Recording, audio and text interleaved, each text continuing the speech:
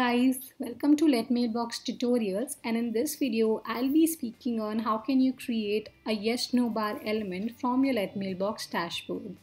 So as you can see this is your Let Mailbox dashboard and in order to create the element you need to click on create new element then click on yes no bar under self interacting elements and then this form would open up. Now you need to configure all of these sections to be able to create the campaign. So the first thing is the name of the campaign. This is only for your internal reference. This would not be shown to your end user anywhere.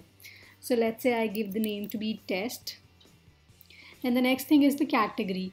I can either add a new category or simply choose from the ones that I've already added. So let's say I choose self-interacting elements here. And then I need to ask a question. Now in the question, I the answer would obviously be a yes or no. So I have to ask a question from my audience so let's say I ask, would, would you like to go ahead with our services? So then I need to enter a yes button text.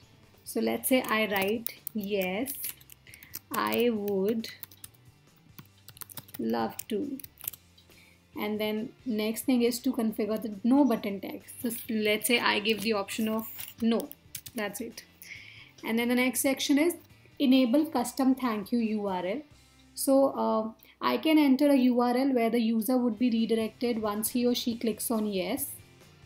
And then I can also enter a URL where the individual would be redirected if he or she clicks on no so once I'm done entering the URL, I need to configure the yes button text color and yes button background color. So let's say I keep that yes button text color to be black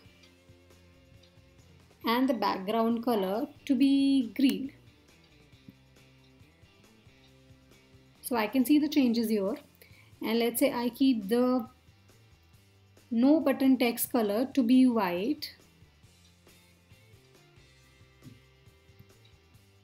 and the background color to be let's say red. So I can see the changes here. Once this is done I need to click on save and the campaign is created successfully. So once the campaign is created I get three codes. One is HTML code which can be used on the websites.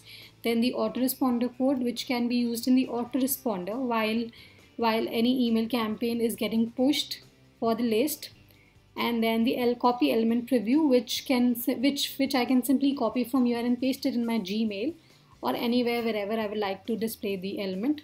And then once this is done you need to simply click on OK.